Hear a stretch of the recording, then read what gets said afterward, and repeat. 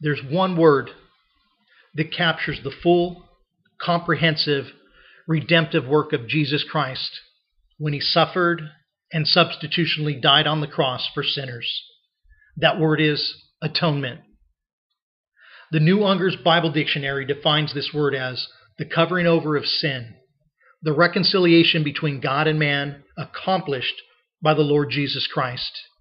It is that special result of Christ's sacrificial sufferings and death by virtue of which all who exercise proper penitence and faith receive forgiveness of their sins and obtain peace.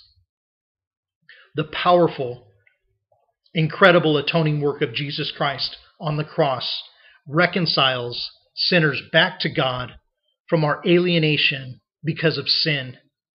In 1 Peter chapter 3 verse 18 it stated like this: For Christ also suffered once for sins, the righteous for the unrighteous, that he might bring us to God, being put to death in the flesh, but being made alive in the spirit.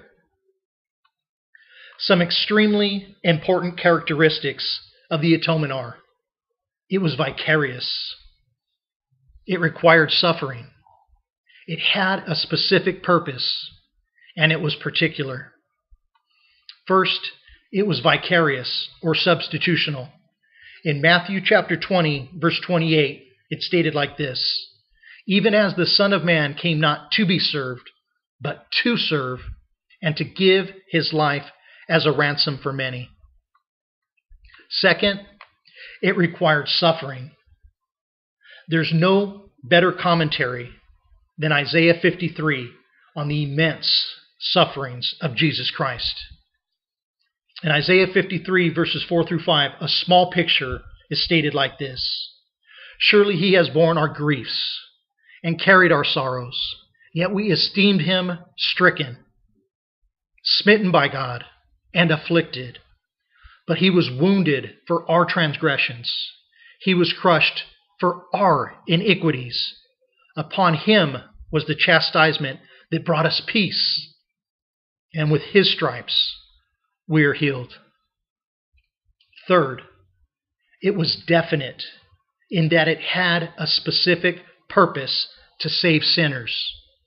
It wasn't merely to pro- provide the way of salvation, it's much more specific and precise. The atonement is God aiming and rescuing sinners through the work of his precious Son on the cross. Fourth, it was particular or specifically for God's elect, those who were predestined to believe. Now, please listen closely to John 10, verse 14 through 15. I am the good shepherd.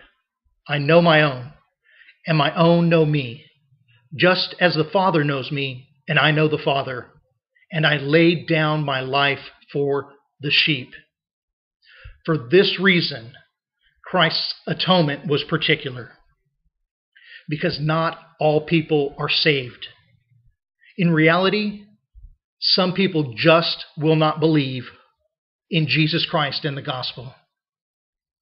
There's a serious danger in viewing the atonement to mean for all sin for everybody.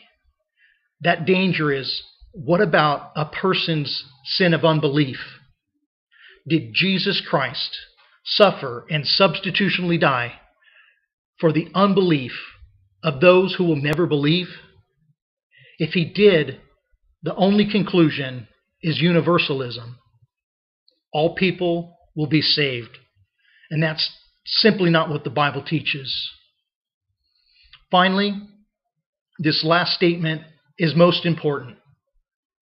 The atonement of Jesus Christ is made effectual to anyone and everyone who believes and calls on his name by faith, thus securing their salvation.